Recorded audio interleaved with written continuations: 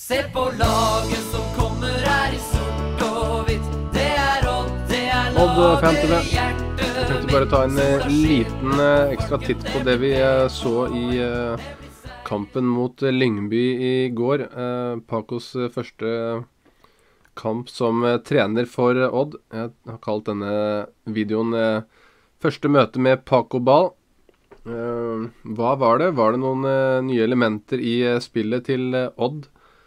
Eh, hva var det vi egentlig fikk se? Jeg tenker spesielt på i den eh, første omgangen, da Odd eh, stilte med et sterkt lag. Ikke første laget, kanskje. Et par Et par litt uh, uventa navn der, hvis man tenker at det var første elveren. Det var det helt sikkert ikke, men det var iallfall et sterkt lag, spesielt i forsvarsfireren og i midtbaneleddet. Så å se litt nærmere på det, jeg skal bare nevne aller først at uh, vinneren av konkurransen i går Det var mange som var med. Både på Twitter, eh, Facebook og på eh, YouTube-kanalen så var det mange som tippet. Og det var eh, Noah. Noah the Boy 11, som han kaller seg på eh, Twitter. Noah the Boy 11. Han tippa 0-1, altså 1-0 til eh, Lyngby. Og da selvfølgelig ingen eh, målskårer hos Odd, det sier seg sjøl. Men eh, Noah, det er en eh, T-skjorte på vei i eh, posten eh, til deg, da. Så får vi håpe du blir eh, fornøyd med den. Så kjører vi flere konkurranser eh, og premier litt utover vinteren eh, og våren her på Odd Fan TV. Skal starte litt med å se på eh, de elleve som starta kampen i går. Det var jo ikke Det er jo ikke umulig at uh, denne bakerste femmeren her er uh, den samme femmeren som starter uh, når sesongen sparkes i gang. Kitolano, Hagen, Bjørtuft og Ruud. Litt større spørsmålstegn kanskje ved Sondre Rossbakk. Vi får se. Det,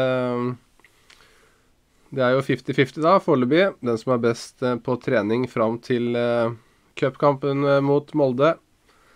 I Molde. Den eh, starter kampen. Det er i alle fall det Paco har sagt. Det er sånn han tenker. Så denne bakre femmeren er eh, trolig da ganske lik eh, den som vi får se når alvoret begynner. Samme med midtbanetrioen. Kitolano Jørgensen og stjerneskuddet fra i fjor, Konrad Valle. Det er trolig uh, kan det selvfølgelig komme noen uh, nye spillere inn også, jeg får håpe det. Uh, men eh, mest sannsynlig er det vel ingen som kommer inn og skyver en av disse her ut fra uh, førsteelveren, eh, vil jeg eh, tro, da. På topp var det litt mer eh, overraskende. Tobias Lauritzen er vel en ganske klar eh, Altså et klart førstevalg eh, som spiss akkurat nå. Så får vi se hva Abel eh, Stensrud kan, eh, kan få til på treninger og i treningskamper. Men jeg er vel ganske sikker på at Tobias Lauritzen er Hvis han blir, da, hvis ikke han går til Russland for å tjene litt ekstra kroner og få noen opplevelser i den russiske eliteserien. Hvis han blir i Odd, så er jeg ganske sikker på at Lauritzen er Odds førstevalg når eh, sesongen eh, starter. Det er, det er jeg ikke sikker på når det gjelder eh, Milan Jevtovic eller Kachi. Begge fikk sjansen på kanten i går. Det sier vel også litt om et av de problemene Odd har da, når Sander Svendsen foreløpig ikke er tilbake på Skagerrak Arena. Så er det litt mangel på kantspillere i Odd. Milan Kachi. Så fikk jo da Kastrati også prøve seg på eh, kanten der eh, etter pause. Ingen av disse tre spillerne har vel egentlig vist det som er nødvendig, foreløpig i hvert fall, for å eh, være et førstevalg for eh, Odd, som da jakter en eh, klart bedre plassering i årets eh, eliteserie enn eh, 13.-plassen fra i fjor. Men eh, de har en vinter eh, Ja, det er ikke en vinter. Nå er det snart bare en måned til cupkampen. Eh, de har noen uker igjen til å vise hva de kan, Jevtovic og Kachi, da, som var det aller mest overraskende navnet på, på dommerkortet her før kampen mot Lyngby. Disse elleve, da, det var de som starta kampen. Fikk jo se en del bra her. Fikk eh, eh, vist eh, noe av det nye som Paco har forsøkt å implementere i Odd-laget. Hvis å gå gjennom et par av de tingene som jeg la merke til, så er det selvfølgelig flere ting sikkert, men Og det var jo ikke verdens beste kameravinkel vi så kampen fra heller. Det var et lavt kamera som sto helt eh, på venstresiden da, for Odd i første omgang. Og det er første gangen jeg egentlig snakker om. Andre gangen ble jeg litt eh, oppstykka av mye bytter osv. Men eh, i, eh, i, den første omgangen, hva var det vi fikk se? Eh, noen eh, ting som jeg har eh, bitt meg merke i her. Så en av de tingene som Paco helt sikkert har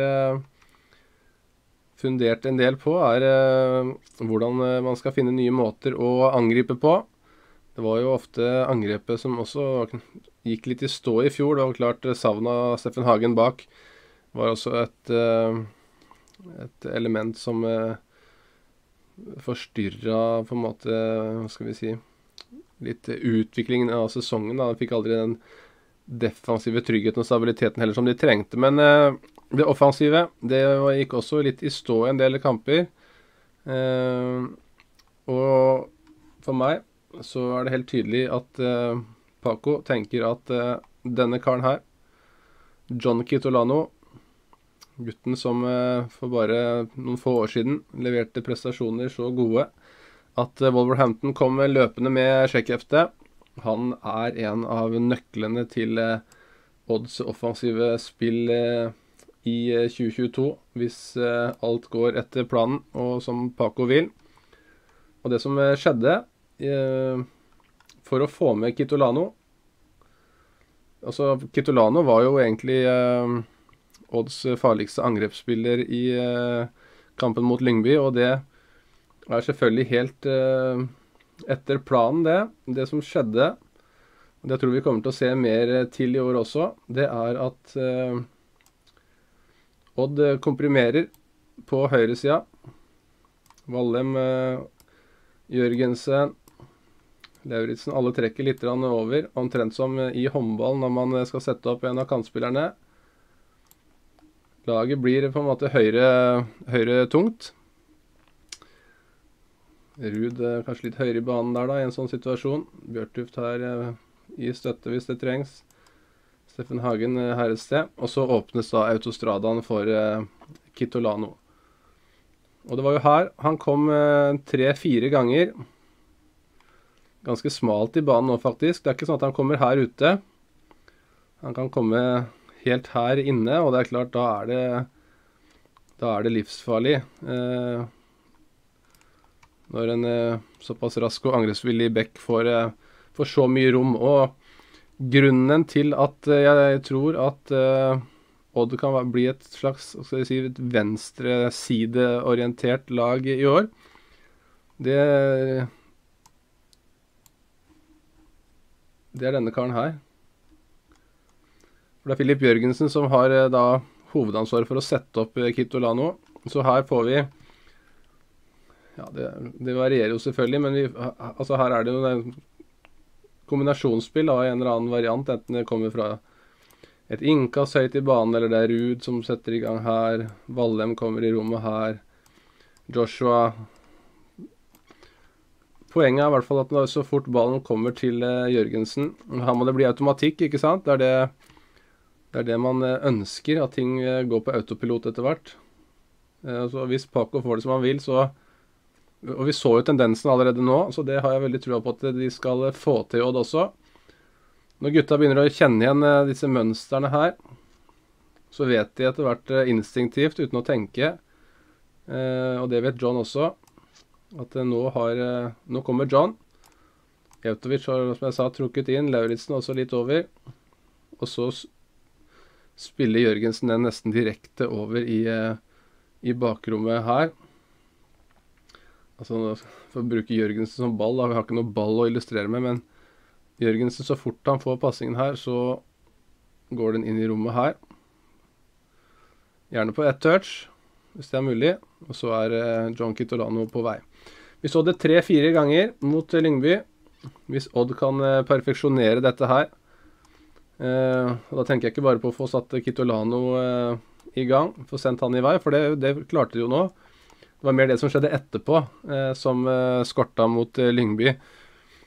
Jeg kunne jo kanskje normalt sett skapt et par kjempesjanser når vi når Kitolano får lov til å storme inn i det rommet her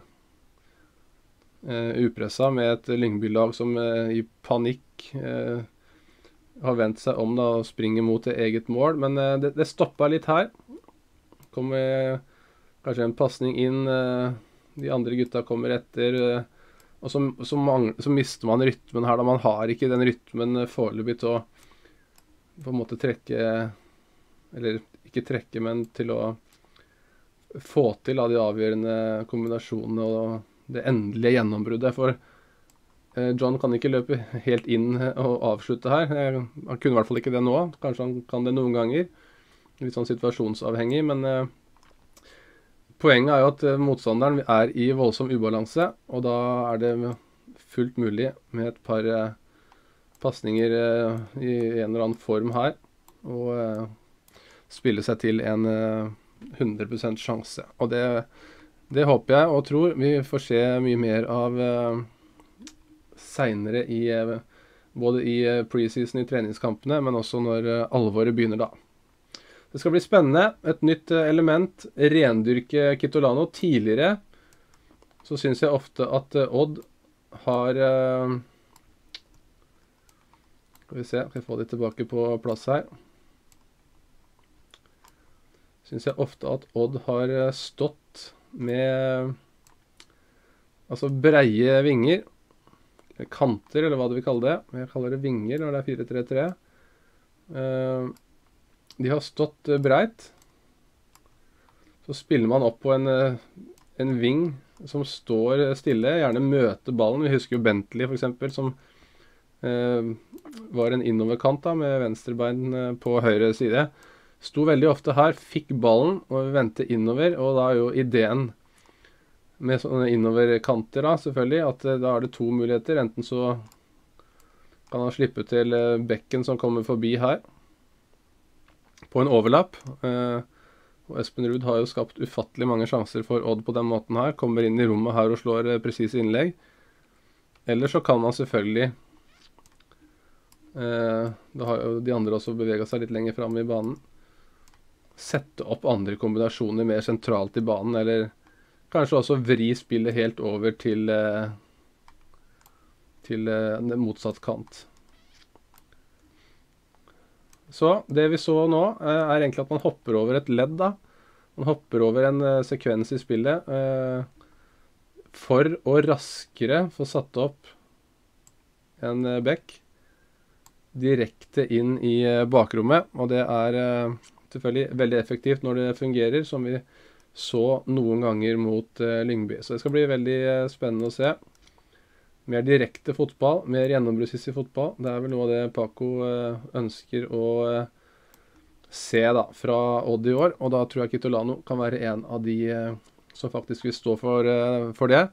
Selv om han er forsvarsspiller i utgangspunktet. Det var en av tingene. Eh, Kanskje den viktigste, det var dette med Kitolano. Veldig synlig, veldig tydelig hva man prøvde på der. En annen ting som jeg syns jeg la merke til, det var at uh, kantene Jeg var litt inne på det i også. De står ikke så breit i banen. De står ikke her ute. Uh, de Tvert imot, egentlig, så finner de rommet her inne. Nå snakker jeg om i etablert angrepsspill prøver å finne dette rommet her mellom Altså mellom stopper og bekk. Her er det stort sett ledig, i denne korridoren her. Jeg syns Jevtovic spesielt, og det var jo han som var på kamerasida, så var det lettere å følge med på han. Eh, Så er jo han også høyrebeint, så det er jo en innoverkant eh, på samme måte som Bentley. Han liker jo også å gå inn her. Men jeg tror ikke det var tilfeldig at eh, Jevtovic eh, posisjonerte seg, stilte seg opp i dette området her. Eh, også antageligvis eh, for å eh, komprimere spillet i midten, så det er enklere for eh, Joshua Kitolano å eh, komme. Det så vi også litt på sa- eh, motsatt side. Kachi trekker inn. Eh, Ruud eh, skal da komme rundt. Gjorde ikke det så veldig mye Espen nå eh, mot Lyngby, men det, vi har jo sett det i, i snart 20 år, så vi vet jo at det er det som er eh, greia på, eh, på høyresiden også. Eh, og litt av greia her, da, i forhold til det som vi ofte har sett av Odd før, er at dette her skjer eh, ganske tidlig. Altså når Odd vinner ballen og spillet starter på midtbanested eller starter helt bak eh, i forsvarsfireren med litt balltrilling, Hagen, Bjørtuft, eh, Rossbakk osv. Så, videre. så eh, posisjonerer de seg smalere i banen ganske tidlig. Eh, mens tidligere så syns jeg ofte at man har, som jeg sa i stad også, har venta her ute eh, på ballen. Ok, her spiller vi litt eh, kombinasjonsspill, ikke sant? litt pasningsspill, og så og så, ok, nå er det ledig på venstre, så banker vi ballen over til eh, venstrekanten. Og så setter man i gang et angrep eh, som da starter med at vinga får eh, ballen her. Så kommer overlappen, eh, og så kommer også kanskje en indreløper og hjelper til å prøve å skape en sånn eh, triangel her ute for å rett og slett spille spille seg forbi, da. Spille tre mot tre eller eh, tre mot to i beste fall her ute mot Beck og en annen forsvarsspiller som kommer. Mens og, og det kan bli Odd er jo gode til det. De har vært gode til det i mange år. Skape dette overtallet og komme seg rundt på kant. Eh, Men det tar lengre tid, og det er ikke så direkte og så gjennomrussistisk som det eh, man prøver på nå. Og her skal ballen tidligere eller ikke tidligere, men den skal raskere ut. Så det ser ut som eh, at når Jevtovic eh, da f.eks. har trukket inn her, i det øyeblikket ballen eh, spilles til Jevtovic, så skal den raskt videre ut til en eh, Kitolano, eller da på andre sida til en Ruud som allerede kommer her, i dette rommet som, eh, som Bekken da etterlater seg, fordi han eh, følger I hvert fall delvis følger kantspilleren innover i banen. Så litt forskjellige Altså litt andre måter å angripe kantspillet på enn det vi har sett tidligere. Både i etablert og i, eh, i dette Når man komprimerer på sida som jeg viste i stad, og åpner opp hele motsatt banehalvdel for eh, Kitolano. Eh, det er noe nytt, hvis man skal prøve å rendyrke det. Så er det veldig interessant i mine øyne, da. Det var to ting. En tredje ting skal jeg nevne litt fort, så ikke videoen blir altfor lang. Det var at jeg syns jeg så et par ganger, eller kanskje mer enn det også, eh, at eh, i oppspillsfasen, og det er jo i moderne fotball så er jo ganske mye av eh, kampen faktisk sånn at ballen trilles bak. Gjerne to midtstoppere som har trukket helt ned her. Bekkene har trukket litt høyere. Og så har vi hatt da veldig typisk i Odd, eh, eller i mange andre 4-3-3-lag også. eh, Den dype eh, på midten. Filip Jørgensen for Odd da. så kommer de her og skal skape dette triangelet her. Som på en måte skal frakte ballen ut videre til en indreløper eller en back som har beveget seg litt høyere i banen. Det vi har sett i Odd i veldig mange år, enten det har vært helt tilbake til eh, Tommy Svindal Larsen eller eh, eh, Magnus Lekven har jo vært der i eh, årevis. Denne Ja, hva skal vi si eh, litt uh, Ikke enkel rolle, for det er absolutt ikke en enkel rolle, men den har vært veldig definert i Odd, denne rollen her. Uh, husker jo tilbake til Lekevenn f.eks., som hadde egentlig så mange offensive kvaliteter. og hadde egentlig gjerne kunnet spilt her, bak spissen, den gangen som han var på topp i Odd for noen år siden. Men hadde denne rolla her, da, og da var det veldig mye enkle pasninger. Enten støttepasninger tilbake eller enkle pasninger ut.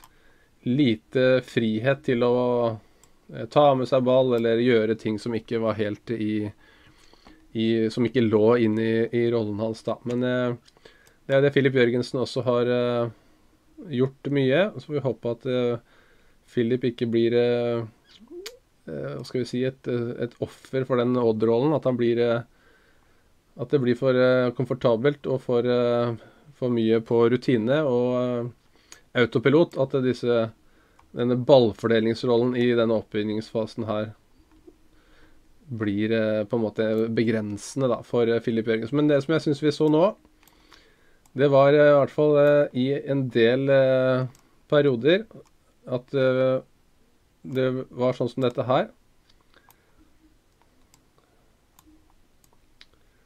Det var ikke bare Filip Jørgensen som kom ned her aleine for å skape dette triangelet her nede. Eh, også Joshua Kitolano kom ned og skapte en slags duo her i oppspillsfasen.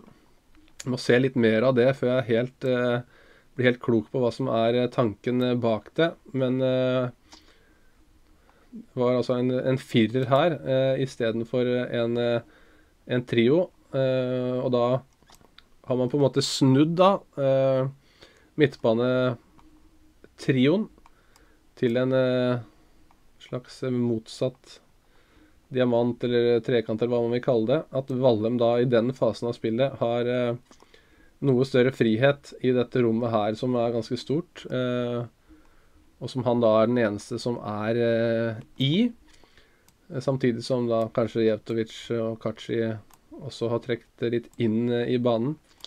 Eh, men i hvert fall eh, Hva som skjer her, er ikke eh, i denne fasen av spillet. Det må jeg se litt mer. Men eh, jeg syns i hvert fall det var veldig tydelig å se innimellom at det var to midtbanespillere som kom ned for å være møtende, for å hjelpe til i den aller, aller første fasen av eh, angrepsspillet, da. Så har man flere alternativer å spille på akkurat der.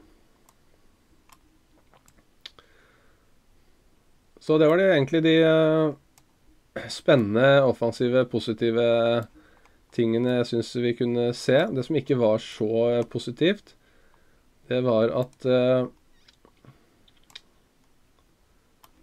En ting til også jeg kunne nevnt, selvfølgelig, det var jo dette høye presset. Men vi har sett det vi har sett det i perioder før også, at Odd uh, står høyt uh, når de har sjansen. La oss si at det er et kast, uh, innkast til Lyngby helt her oppe. hvor man da kjører ganske nådeløst etter. Og står her og prøver å låse av. Tenker ikke så mye risiko da, egentlig. Og det var jo også det som var mitt siste poeng fra kampen det var at eh, Nå husker jeg ikke i farta akkurat situasjonene, men det var i hvert fall flere ganger som uh, Odd ikke lyktes i dette her. Eh, eller at de mista ballen i, i etablert angrep, altså i angrepsspillet, da. hvor det blei veldig, veldig åpent, og Lyngby fikk Eh, omtrent kontre på eh, Det så ut som kontringer. Det var jo egentlig kontringer også, men det var på en måte ikke kontringer etter en dødball eh, som Odd har hatt alle oppe på en corner, f.eks. Det var, det var på en måte kontringer fra at Odd hadde full kontroll med ballen. Da. Fra etablert spill, så plutselig så bryter Lyngby, og så kjører de en slags kontra flere ganger, spesielt på venstresida her. I første omgang var det et par ganger, og også på høyresida. Men eh, Og det, det, det må Odd få luka bort, eh, for det handler om balanse. Å angripe og, eh, forsvare seg i balanse. Finne riktig Det er jo små detaljer, ikke sant? Små marginer. De må finne ut nøyaktig eh, hvor grensa går når man stuper i angrep eller stuper i pres. Eh, og finne disse avstandene mellom spillerne og mellom eh, ledd, så ikke det blir eh, kaos og eh, problemer hver eneste gang de mister ballen.